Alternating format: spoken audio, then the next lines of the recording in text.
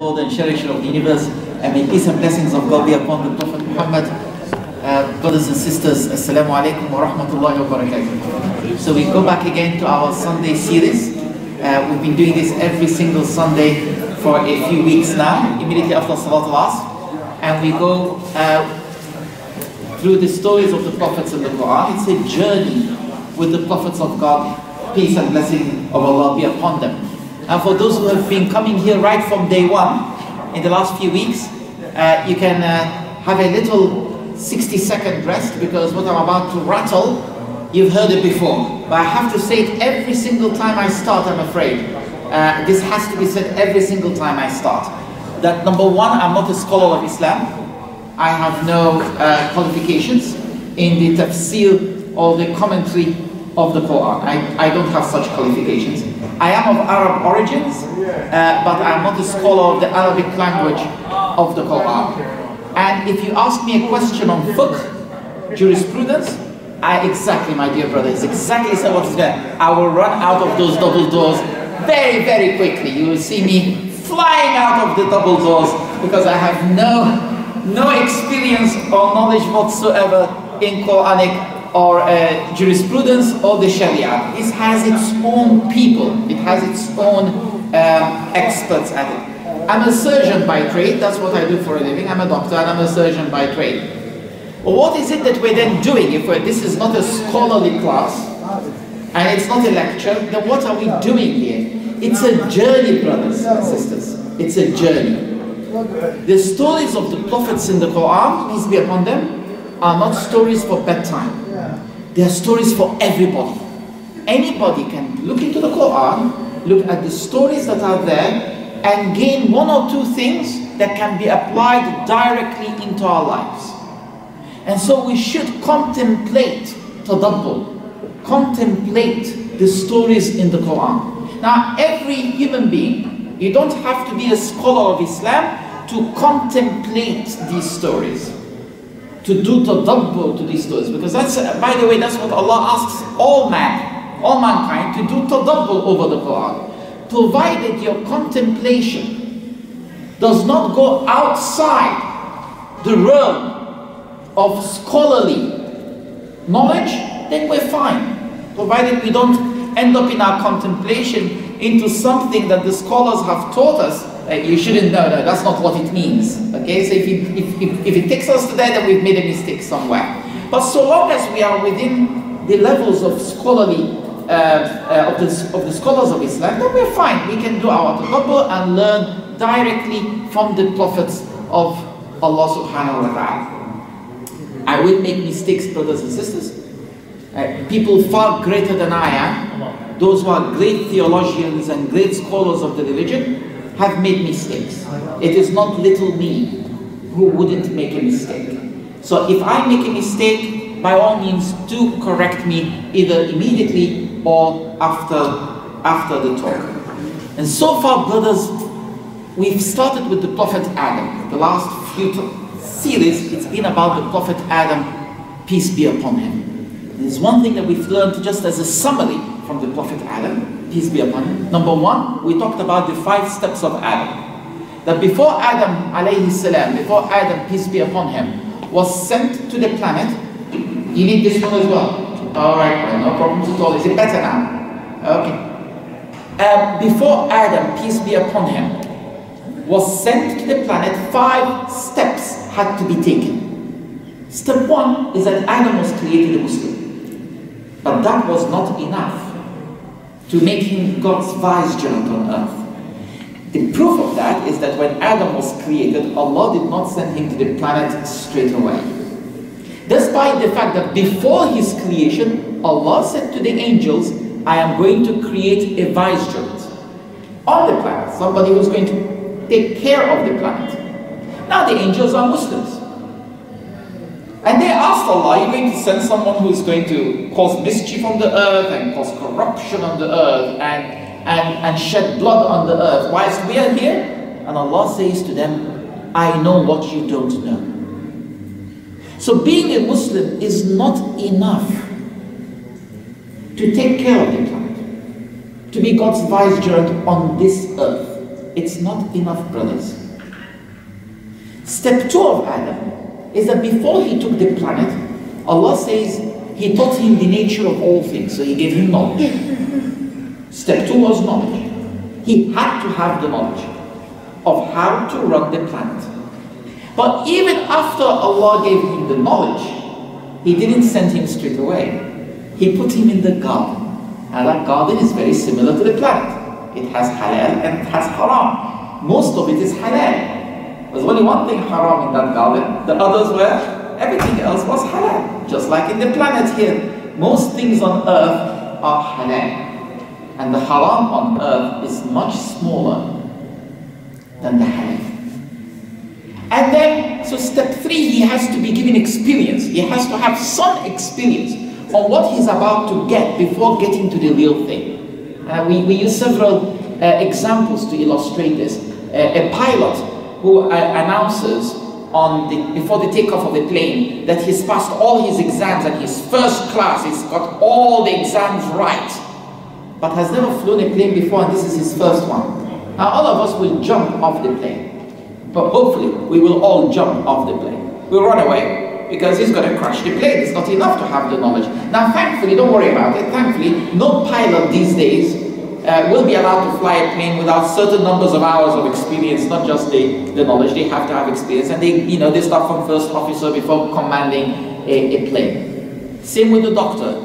You're not going to ask a surgeon who's never held a knife in his hands to operate on you even if he's passed his exams. And again, thankfully, that doesn't happen. I can tell you that. It doesn't happen. We don't hold knives without, without having experience and being trained to do it. And so here again, step three is he must have experience on running the planet before giving the real thing, before giving him the main thing to do.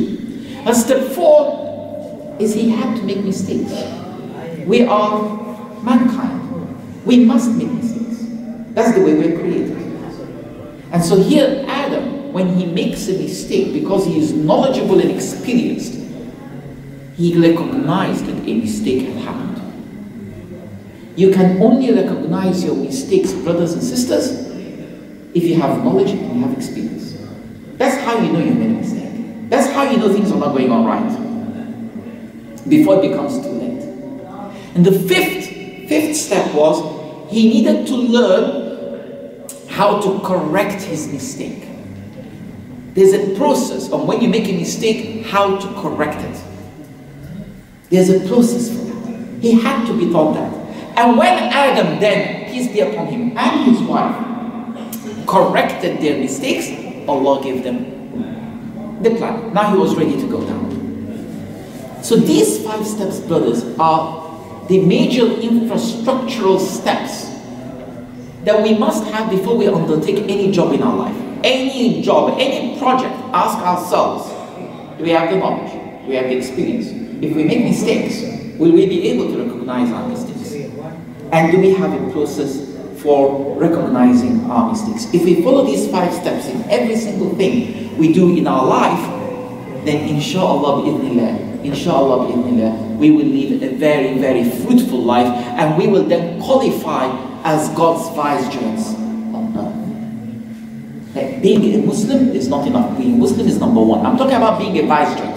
I'm not talking about going to paradise. We're talking about the planet. That is, and we were created to be God's vicegerents on the planet. We are here for a job. That job is part of our worship. We must go through those five steps. And last week, you can notice, the second series, we talked about the difference between Adam and Shaitan on why one was sent down to the planet with curses of Allah on him, and that's Iblis, and the other was sent down to the planet with the blessings of Allah and his wife. We said that both were given a command. Adam was commanded don't eat of the fruit, Iblis was commanded bow down before Adam. Second step, both disobeyed. Third step, both were questioned. Allah asked Adam, did I not tell you not to eat of the, fruit? And Iblis was questioned, why did you not bow down before what I created? It was at step four that both of them differed massively, diametrically opposite to each other. Whilst Adam and his wife, in their response to Allah's question was, رَبَّنَا ظلمنا أنفسنا We have transgressed against ourselves. And if you do not forgive us, we'll be amongst the lost ones. No justifications, no excuses, taking the responsibility fully over what has happened and begging for forgiveness. Whilst the other, Iblis, said, I You created him from mud, and you created me from fire. I'm greater than him. Why should I bow down?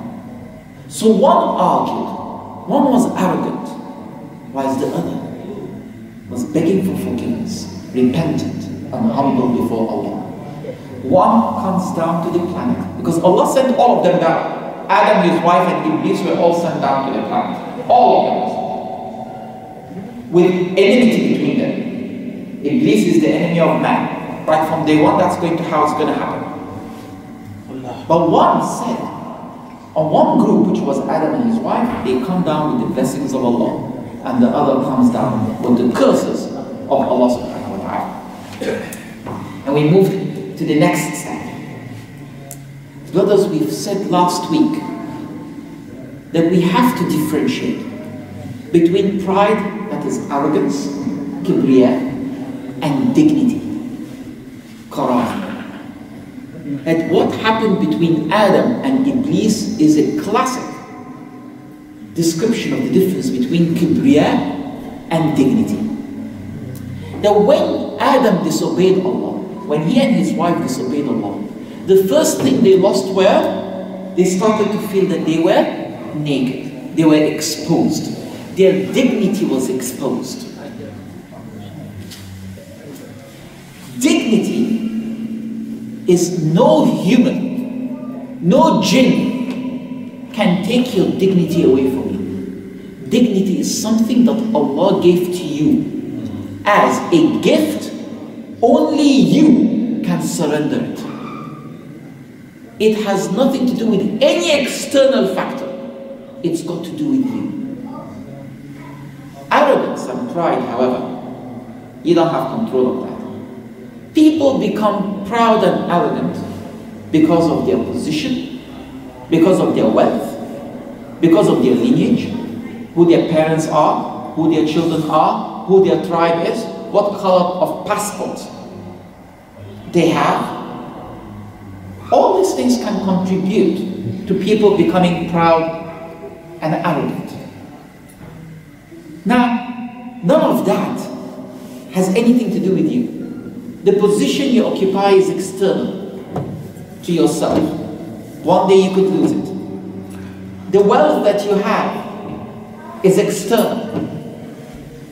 It can be taken away from you. You can lose it. All that can be taken away from you. And it is people feeding into your, your kibriya. Your arrogance is something that people feed into you. Things external. Oh, look at how great he is. So your head starts getting bigger and bigger. And the day someone challenges you, you start saying, how dare he challenge me? Or how dare she challenges me? And you get angry and you re re respond in a very aggressive manner. How dare they? How dare they? And you get angry about it and your heart rate. That's arrogance. That's your ego has been hit. Dignity, on the other hand, has nothing to do with that. Dignity is something you have full control over. Your dignity has got to do with whether you obey the laws of Allah or not. By the way, brothers and sisters, if a non-Muslim, if a non-Muslim obeys the laws of Allah, even if he doesn't believe in in Allah subhanahu wa ta'ala, but he obeys the laws of Allah on this earth, he has more dignity. I didn't say he has full dignity. I didn't say he has full dignity. But he has more dignity than the person who disobeys Allah day in, day out. You follow the system that Allah subhanahu wa ta'ala has put for you, you will always have dignity. Hence, brothers and sisters, the first name of Allah that was revealed to Muhammad sallallahu alayhi wasallam in the cave, the first revelation was Iqra وَرَبُّكَ الْأَكْرَمُ اقرأ وربك الأكرم Read and your Lord is the most the most dignified. So if you follow Allah, if you follow the rules of Allah, if you follow the systems of Allah, if you worship Allah, you're worshipping the most dignified, so of course you're going to be dignified. Of course your dignity is going to rise. Whilst if you stay away from Allah, the more you keep away from Allah and His systems and His policies that He has laid down for man, the more you keep away from them, the less dignified you are. You start to lose your dignity. Now, when you lose your dignity, what happens, brothers and sisters? A vacuum is created. And humans don't like vacuums. We're not created to accept vacuums. So what comes in? Ego, pride, and arrogance. So we said last week that if you, as your ego and pride goes up, your dignity goes down. And as your dignity goes up, your ego and pride must go down. And if you achieve full dignity, you will lose all ego and arrogance. Now, that's not easy. You have to train yourselves for it. I'm still training myself for it. We have to be trained for this. That's why I look at my younger my younger brothers and sisters and say, start from now training yourselves for this. But it has no age. When it comes to doing what is right, age is nothing more than a number. Allah subhanahu wa ta'ala has made this universal. That's why we say the stories of the prophets in the Quran are universal. Has nothing to do with time, has nothing to do with place, has nothing to do with age. But you must train yourself. That's why, brothers, you find sometimes in families, the father gets or the mother gets angry at the child when they disobey their, their parents. We have to ask ourselves as parents, why are we angry? Are we angry because our pride and ego has been popped by our child? Or are we angry because our child is hurting themselves? Because that type of anger is fine. If you're angry because your child is hurting themselves by doing the wrong thing, that's fine. But is that the reason because sometimes you hear parents tell their adult children, get out of here, I don't want to see your face again, I disown you, I do, I do, I do. Whoa, whoa, whoa, whoa, whoa, that's your ego. Sorry, brothers and sisters, that's your ego. You, you can't disown your children. They're your children whether you like it or not. No matter what happens, they are your children, whether you like it or not. When we get angry at our spouses, a wife gets angry at her husband, her husband gets angry at the wife. What's the reason?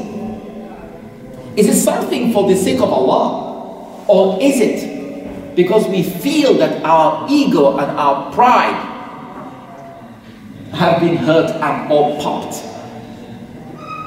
These are questions we must ask ourselves when we see our, our blood beginning to boil. Because one of the first signs of arrogance and ego is the blood starting to boil. And, they, and when you start to say to yourself, how dare they? You just know that's ego beginning to settle. That's, so let me give you a simple simulation. If my brother comes over here and starts to shout at me, and I start looking at him, how dare you talk to me like this? Can't you see the difference in age between us? How dare you? That's ego. That's ego. I have just lost my dignity.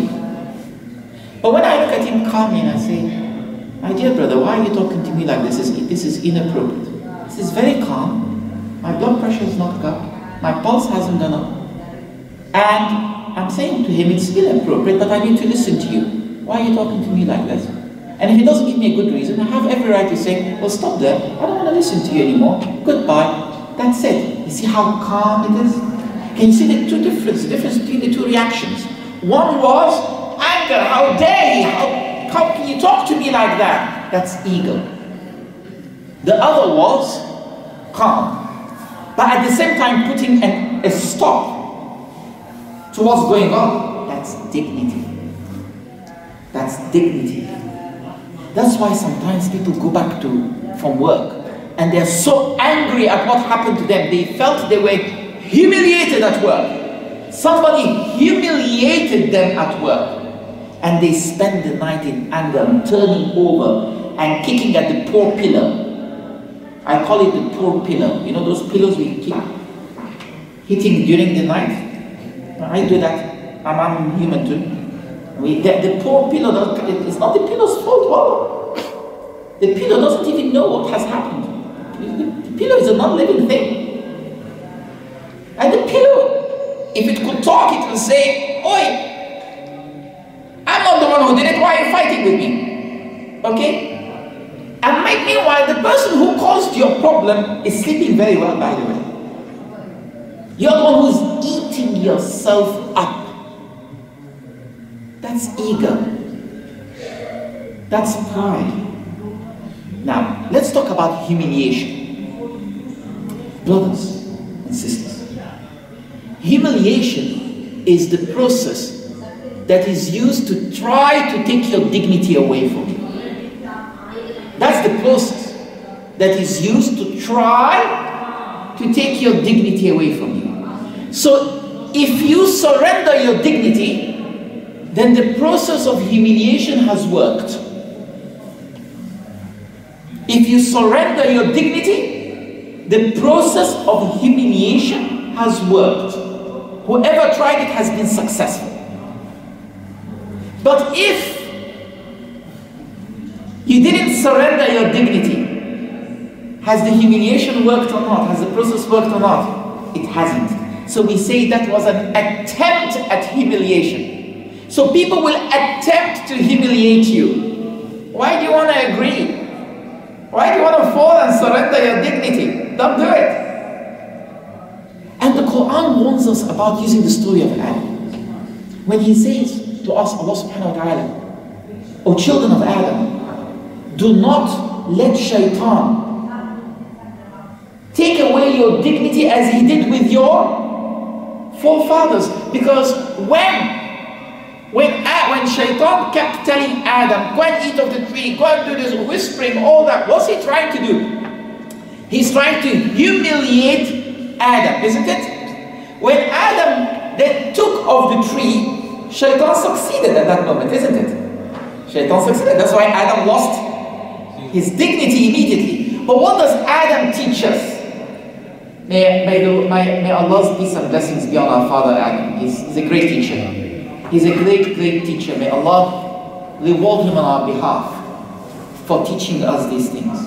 What Adam taught us, peace be upon him, is if you made the mistake and surrendered your dignity, it's not over. You can what? You can take it back. You can take it back. How do you take it back? By repenting, saying, I'm sorry. No, uh, no, no, no answers. What that happens? Allah restores your dignity back to you. Gives it back to you. But He gives it back to you with a reward. Because remember we said last time that what starts as a sin, if you follow the process that Adam put for us as commanded by Allah subhanahu wa ta'ala, it ends as a reward. So you, you, you commit a sin, then you beg for forgiveness. Then Allah forgives you and covers it up. Then He strengthens you. And we said that when you ask Allah for forgiveness, it means you've entered in His presence. You can't enter the presence of Allah and get out without a reward. It's impossible, brothers and sisters. It is impossible. That's the deal. You walk into the presence of Allah you can't get out without a reward. So when we ask Allah for forgiveness for the sin that we committed, we get forgiven. It's all done. Khalas, as the Arabs would say, khalas, done, over. You get strengthened, and then He rewards you. That's what makes Satan mental. After all the efforts that He has put to make us sin, we end up with a war. It's a beautiful thing for us. So let's not forget that even if we lose our dignity in the process of going against Allah subhanahu wa ta'ala's commands, we can still get that dignity back. But for that dignity to come back, what must happen to ego and pride? You have to remove ego and pride. You must dispose of ego and pride, and then dignity comes back in. Because dignity and ego can't go together. It's impossible. They can't, they can't live in the same in the same human body. So if you lose dignity, ego comes in. You want your dignity back? Get rid of ego, dignity comes back. Hence we say even at work, brothers and sisters, or even at home, if you are wrong, what should you do? What's the first thing that you're advised to do when you're wrong? Correct. Yourself. How? What's the first thing? You admit you were wrong. Repent. Yeah. You admit you're wrong. So if you made a mistake at work, what's the first thing you should do? You must, you must say at work, I was wrong. You must be honest enough to say, yes, I was wrong. There is no pride in that. And what happens when you say you're wrong at work? Okay, you repair the mistake because you have to repair what has happened, and your dignity is restored completely. But suppose you insist or you try to cover up. You try to cover up because you're arrogant. You cannot be seen to be wrong. You cannot be seen to be wrong. You're the head of your unit or you're in charge. And therefore, hmm, if I admit that I'm wrong, my enemies at work would use this against me. My enemies would use it against me and say he's not fit to be in charge. So I'm going to do what? I'm going to cover it up. What happens when you start covering things up? You will lie. Everybody will know you're lying, by the way. You cover it more, and more, and more, till you go further and further down that dark tunnel of ego. And suddenly it all disappears. It all just disappears. Whilst if right from the beginning you said, Oi, alright guys, I know I'm in charge, I made a mistake, sorry about this, I've learned, I won't make it again, sorry to those whom I've learned, how do I make it up for you? And it's difficult because you're afraid that your enemies may come after you and say, huh, and they'll make fun of you. I want to see one person who made fun of the Prophet Adam, peace be upon him, when he admitted his mistake. Today, look at how many thousands of years we are in Liverpool, in the United Kingdom, in the 21st century, and we say, Our Lord Adam, may peace and blessings of God. Mistake reduced his dignity when he corrected it? No. Brothers, there's a surah in the Quran. Hmm? Surah number 80. The first 16 verses, 16 verses of that surah are talking about a mistake that one of the prophets committed. And this was revealed at a time when that particular prophet was in a very weak and vulnerable position. Surrounded by his enemies.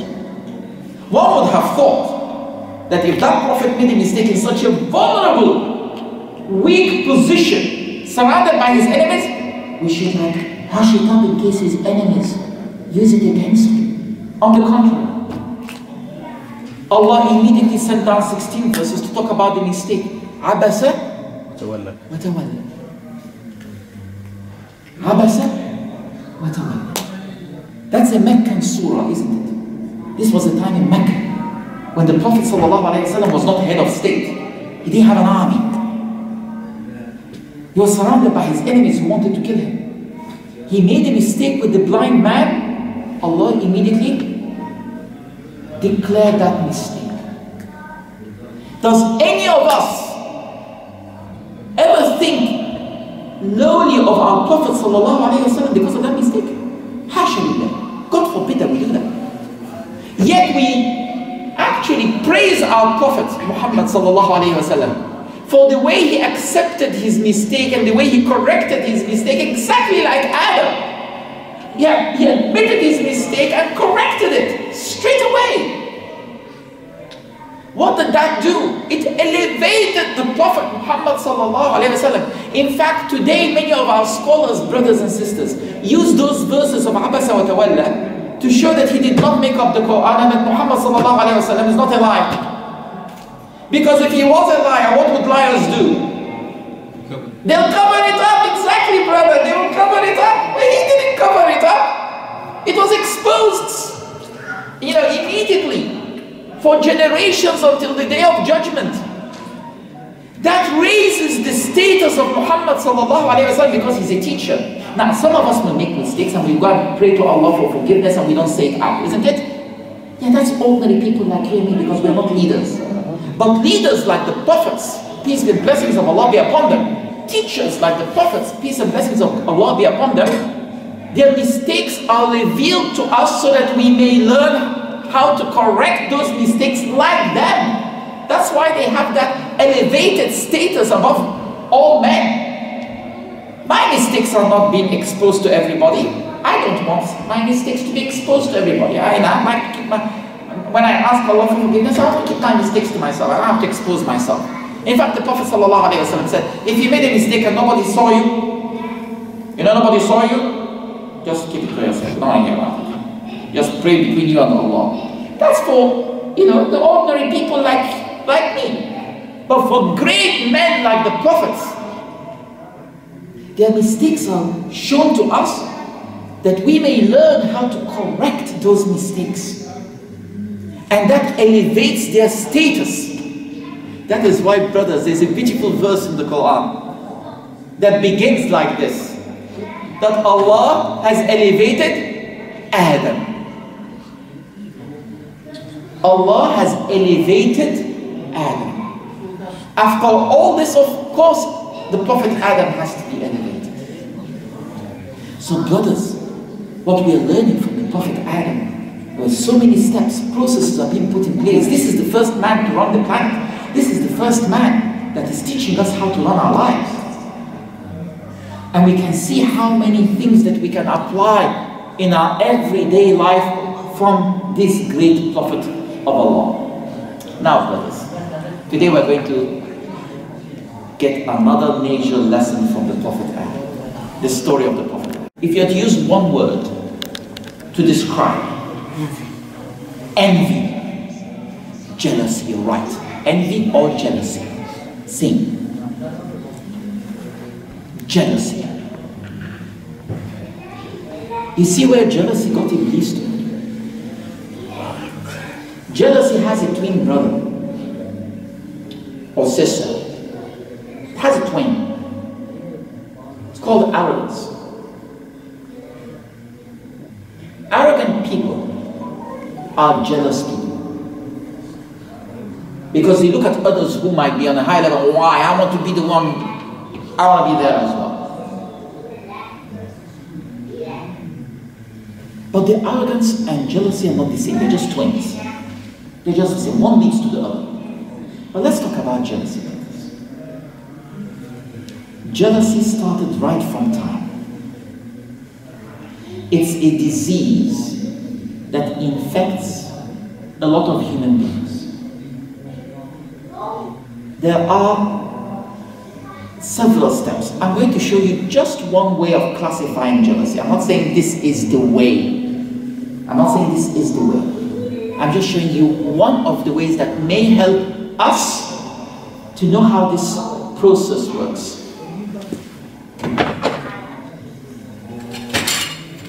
I go in steps. I like doing things in steps. You must have noticed that by now. And yet last time I made a joke about this, that probably because I'm a surgeon, I work in steps. Okay? Everything has to be in steps. If you don't do steps in surgery, things are going to go very badly. So you must forgive me that I do everything in steps because that just comes with the with the job. Let me get it here because we can't see it there. And the problem is that if you get it there, the women can't see it. Uh, That's what I was told. Oh, the camera. Yeah, the camera we go upstairs then. Don't put me to trouble. I'm a well-trained husband. I know exactly where I where I belong in life. I know my place. Okay. Right. Okay. There are. Let's look at this particular classification. Steps of jealousy, and we will see that there are five steps. Step one. Why him or her?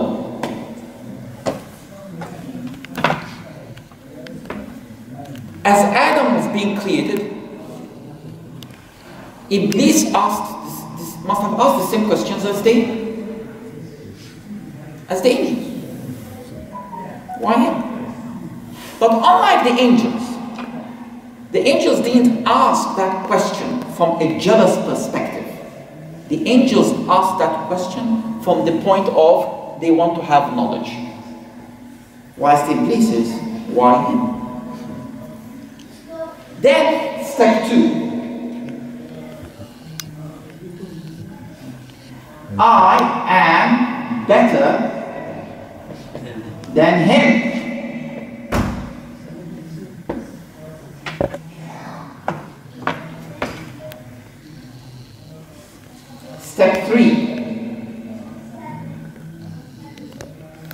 It should be me. Because that's the crooked logic. If I am better than him, then it should be me. Two people are going for promotion. I am better than him, so I must get the promotion. End of story. That's the logic. Step four. Planning against him or her. Step five. Execute the plan. Let's go. Let's go through these steps. Iblis said, Why should this person go away? I am better than him. Therefore, I am the one who should be in charge. I'm not going to prostrate before him.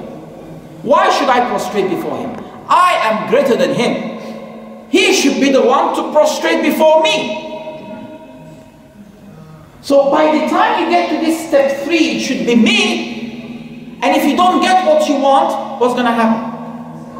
You start planning against that person. So Iblis starts to plan against Adam. In fact, Iblis told Allah subhanahu wa ta'ala, when Allah at step three, when Shaitan said, it should have been me, I'm greater than him. And Allah cursed him. What did Iblis say? My Lord. He even called him Rabbi. He even called him Rabbi, my Lord. Give me time till the day of judgment. And I will do what? I will be on their right and on their left and in front of them and behind them and under them. He didn't say above them. The only place he didn't talk about was above us. Because Iblis will never be above us. End of story, he can never be above us. He said, I'll be by their right and by their left and in front of them. And what will I do? I will make them ungrateful to you. Because you elevated them higher, you elevated this creature greater than me, okay? I will make them ungrateful to you.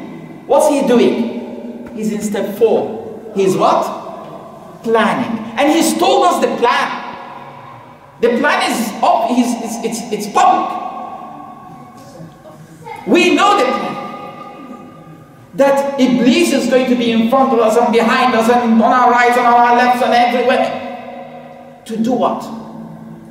To make us disobey Allah and not ask for repentance. Remember, that was the, that was the trick. It's not just to make us disobey Allah. It is to make us disobey Allah and not ask for forgiveness. Because if we ask for forgiveness, we're going to get it.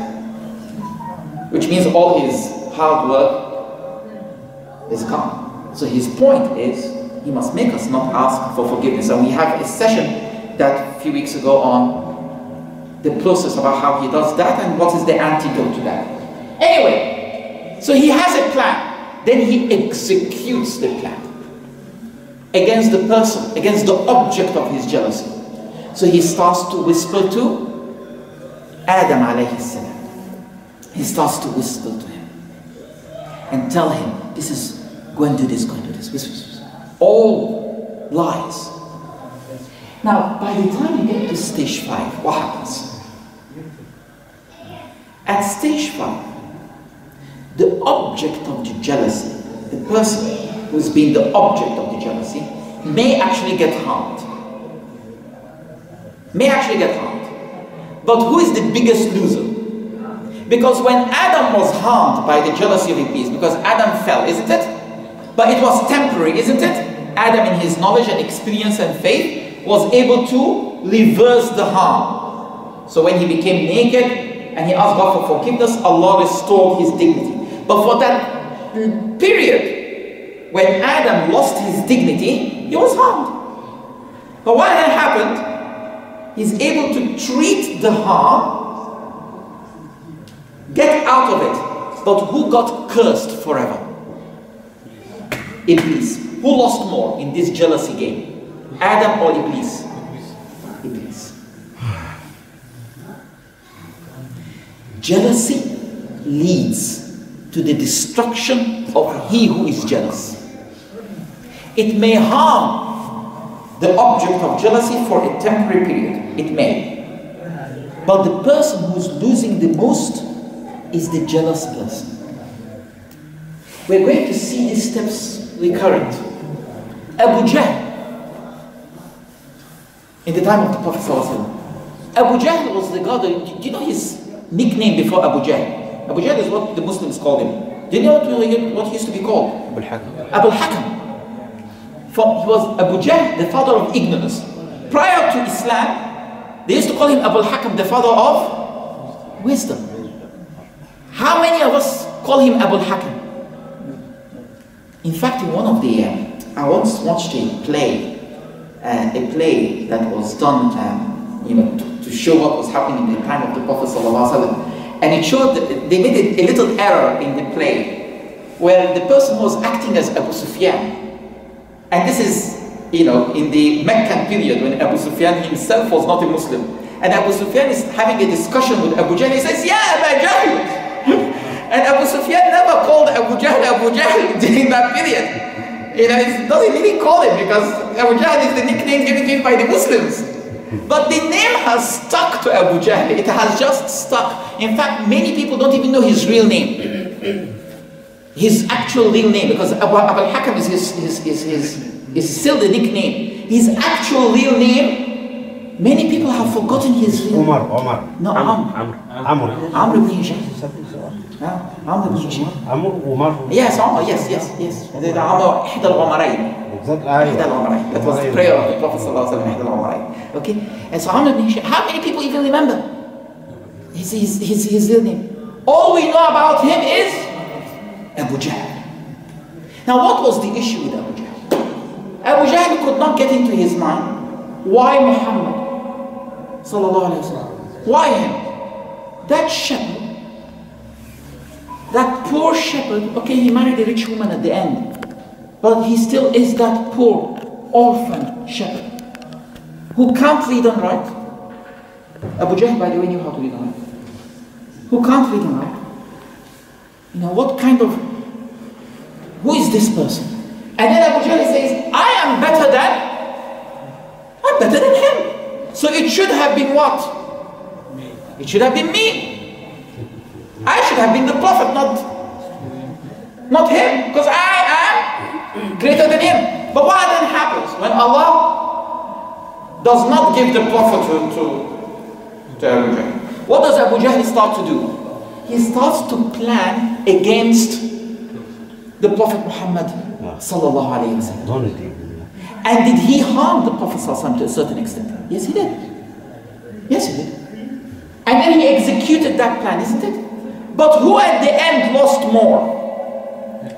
Did the Prophet lose anything at the end? Because everything that was taken from the Prophet was returned back to the Prophet at a much bigger and much higher state. What did Abu Jahl want? To be the ruler of Mecca. To be the man in charge of Quraysh. One tribe in the entire planet. Today Muhammad sallallahu alayhi wasallam, 1400 years after his death, 1.7 billion people on earth, every single day of their life, as they do their prayers, they say, Salli ala Muhammadin wa ala ali Muhammad. 1400 um, until the day of judgment. Until the day of judgment. Every single part of the planet, from north to south, east and west, there is a masjid that five times a day says, the muaddin says, Ashhadu an la ilaha illallah, Ashhadu anna Muhammadan Rasulullah. And Abu Jahl, Sinking. and for 1400 years, he sinks lower and lower and lower and lower. As Muhammad sallallahu alayhi wa sallam gets higher and higher and higher, this one sinks lower and lower and lower. Pray for him, Lanatullah alayhi. Who exactly? Exactly. Wallahi. Subhanallah. We say, Allahumma salli ala Muhammad wa la'natullahi Can't get worse than that. You see what happens when that jealousy gets to step five? You can see what happens when it gets to step five. It is destruction on you, the person who is jealous, not your object. You, will, you may harm your object for a temporary period of time, but you're the bigger loser. Shaitan did it, many people did it, and what then happens is Abu Jahl did exactly what Iblis did. With jealousy comes a bit of what? It has a twin brother called arrogance. Now, brothers, let us let us transfer this to our everyday lives. Is there anybody here who has not been in step one and two? Who at one point in your life you looked, why? Should have been me. Why better? That's step one and. If you have never felt jealous in your life, as in you've never said these two questions, then please raise your hands up and come and sit here and I'll sit down there and you teach me how you did it. Because we've, most of us have at least been in step one and step two. Me. The thing, brothers, is this. The trick is this. Is if you recognize, if you know, if you have the knowledge. Remember what did Adam teach us? Knowledge and experience. If you have the knowledge, you will recognize when the jealousy starts to burn. And so you will hold yourself back because you know that was the end result? It's your destruction, not the object of your jealousy. By the way, brothers, as far as the process of this earth is concerned, it doesn't matter whether the process, the object of your jealousy is a Muslim or not. I, I want us to get this out of our brains that it's okay if it is a non Muslim. We're Muslims, so it's going to be fine. No, it's not. It is not. If you practice jealousy, you, a Muslim, practices jealousy against a non Muslim, you will harm him temporarily and you will be the biggest loser. Has nothing to do with the faith of the object. It has got to do with the concept of jealousy. A lot of people make that mistake. They say, oh, non Muslim. No, no, no, no, no, no, no. Allah is Al Adl. What does Al Adl mean? The supreme injustice and fairness. Allah is fair. Allah is fair. He has put a system on the planet. Those who have the knowledge, those who have the experience, those who can recognize their mistakes and know how to correct them, they will go up. They'll go up. Whilst those who refuse to go through that system will go down, even if they are Muslims. One of the greatest scholars of Islam in, in, in the last 1400 years, uh, over 600 years ago, said, Allah will send victory to the non Muslims who are fair. and will send defeat to the Muslims who are unfair. Allah will send victory to the non-Muslims who are fair. And will send defeat to the Muslims who are unfair. Has nothing to do with that. It's got to, there are systems on the planet, brothers and sisters, we must understand this. There is a physics in the way the planet is being run. Who created that physics? Allah subhanahu wa ta'ala. In science, we call it the physics of life, the physics of the planet. The theological term, the religious term is Sunanillahi al ard. That is the sunnah of Allah on this earth. The sunnah of Allah on this earth has nothing to do with whether you are a mu'min or a non-Muslim. Has nothing to do with that. It's a sunnah. If you're fair, you're gonna get there. Why did the Prophet ﷺ, when he sent when he sent the first companions to the hijrah, the first hijrah, the first hijrah wasn't, wasn't to Medina. It was to Abyssinia, modern day Ethiopia. Was the king there a Muslim at the time of the hijrah? He wasn't. That he became a Muslim later, that's fine. But at the time that the Prophet sent, sent the Sahaba, this is the Sahaba al-Kiram. One of them is Ja'far ibn Abi Talib, the brother of Ali ibn Abi Talib. One of them was his own daughter. These are great men and women. What did he send them to? He sent them to Ethiopia, Abyssinia, modern day Ethiopia. What did he say about the Najashi, the Negus of Abyssinia, the Najashi? Just. Said he is just. No one is treated unfairly in his kingdom. To the extent that when Amr ibn al-As, who at the time was not a Muslim, Amr ibn al-As was a close friend to the Najashi, was a close friend to the Najashi. He went to take the, he wants those people back to torture them in, in, in, uh, in Mecca. And try to tell the Najashi that we the Muslims, we the Muslims, insult Christ, peace be upon him. And when the Muslims under Jafar ibn Abi said, no, we don't believe Christ is a messenger. But yes, we don't believe he is the Son of God. Yes, we don't believe he is God. We don't believe in all that. But yes, we believe he is a messenger of God. And, and Najashi came from that part of Christianity where, what do you mean he's not the Son of God? What, what, do you mean? But when he heard what Ja'far ibn Abi Talib said, the Najashi, that Christian king rose above the difference in faith. He rose against that difference in faith and said, why do you want to take them? Because they want to have a freedom of faith? Freedom of their religion? Have they harmed anybody in Mecca? Amr ibn says no. Did they steal anything from anybody? Ibn al-As says no. Are these people free men and women? Ibn al-As says yes. So the only difference between you and them is a difference in faith. You want to force them to abandon their religion, to return back to yours. And at this time, Amr al-As couldn't speak. And Najashi said, no, I am not handing them over to you. Friendship or no friendship, I am not handing them over to you. That is what is, what's, that is the sunnah of Allah subhanahu wa ta'ala on the planet. It has nothing to do with Christian or Muslim, it has nothing. But we as Muslims, who are supposed to be the people who are at the vanguard, the forefront of justice and fairness, what have we done to ourselves in the last few hundred years? We've gone backwards, haven't we? Yes, we are, let's not hit ourselves badly, you know, we still believe in La ilaha illallah, Muhammadun Rasulullah. But what we have lost, brothers. But what we have lost, brothers and sisters, is the systems and the processes on earth.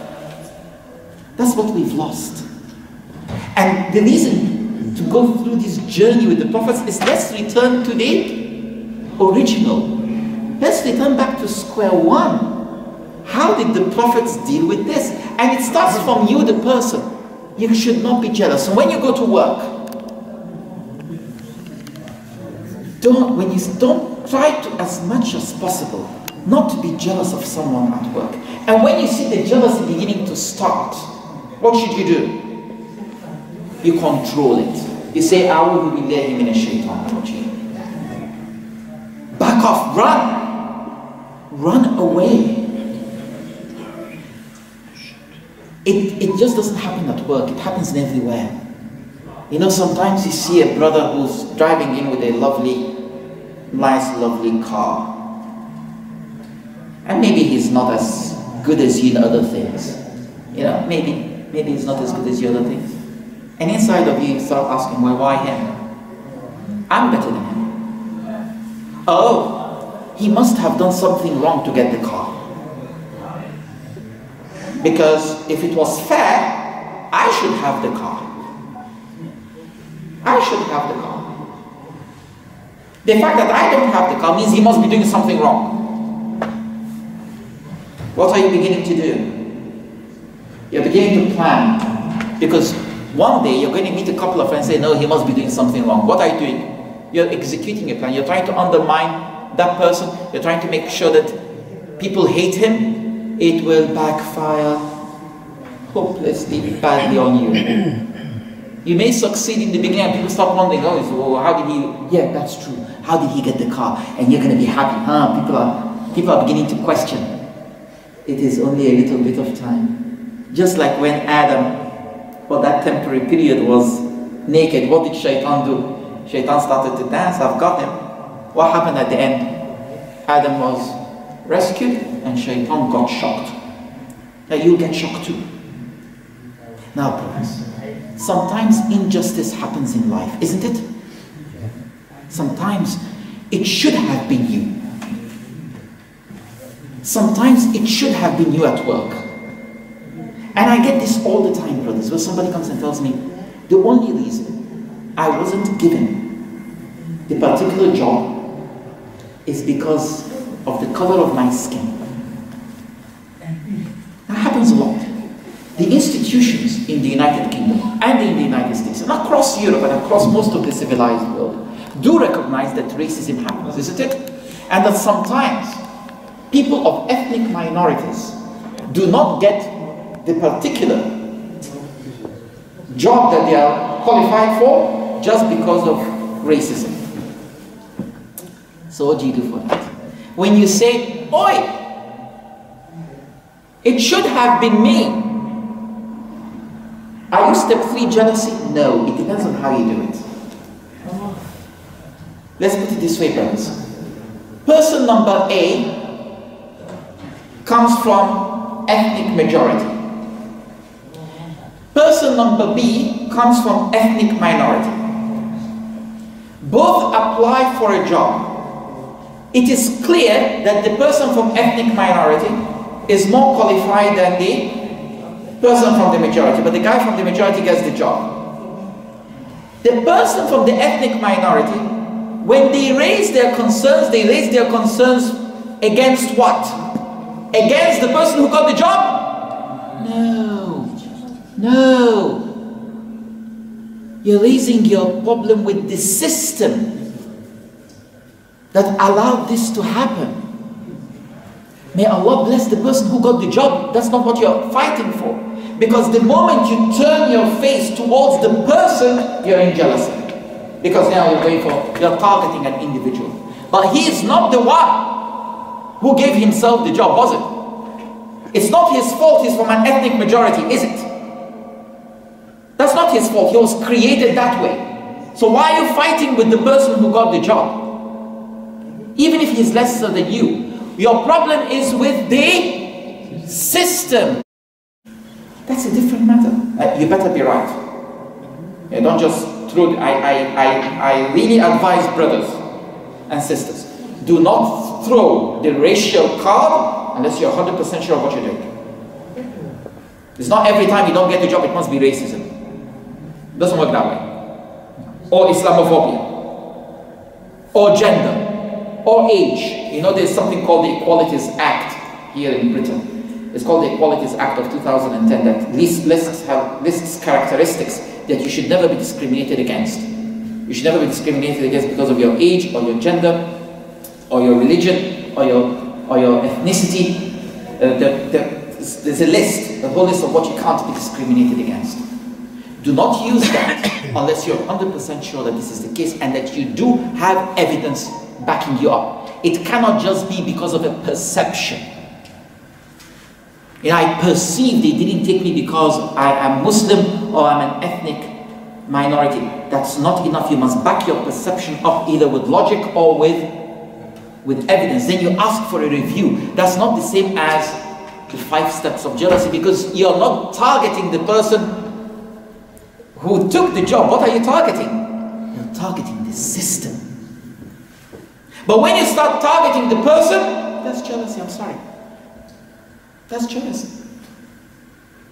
And then you start planning against the person. Then you put the plan into action. Brothers, if you're in step one and step two, I tell you that in my life, I have fallen victim of step one and step two. And occasionally I've gone to step three. Alhamdulillah that I was rescued several times before proceeding to step four. Because by the time you get to step four, between step four and step five is you know, once you put your leg into step four, you are you just heading towards step five. It's it's it's, it's just downwards there, and you're gonna really, really, really, really suffer. You saw what happened to Iblis. Iblis's problem is he went into step five. We saw Abu Jahl. We saw Pharaoh. You saw the, the, the, the, the, Nimrod, the king that Ibrahim alayhi salatu wasalam argued with. We can list them all over the time. It's just not worth it. But you must have the knowledge to recognize when you started on these steps. And it happens on daily basis. Why did he get married? Why did she get married? Oh, the only reason she got married is because, you know, her father is rich. If she wasn't, if her father wasn't rich, she wouldn't get married. Or the only reason he got the job is because his daddy is in charge. Whoa, whoa, whoa, where did you get all that from? Okay, if you really think so, go for the system, don't go for the person. Don't undermine the individual. The moment you individualize it, the, more, the moment you personalize it, that's jealousy. Pull out of it. Snap out of it. And one good way of knowing is that once you step into these steps, remember that who's going to lose at the end? You will. As Satan did. Brothers, next week, inshallah, we're going to look at Adam. I, I know I said this last week, but I, I, I have to go through this first.